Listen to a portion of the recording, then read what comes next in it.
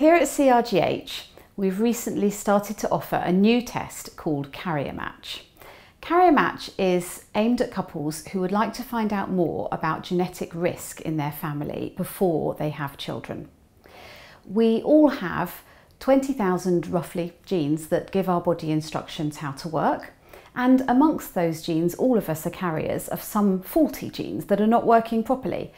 But because our genes come in pairs, if we have one that is faulty, there will also be another copy of that gene that's working fine. So we won't have any symptoms or be ill ourselves because we've got another working copy.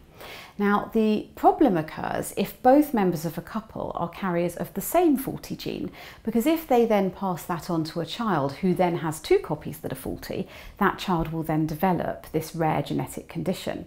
And so the important thing about the carrier match test is that we're looking for couples who carry matching faulty genes.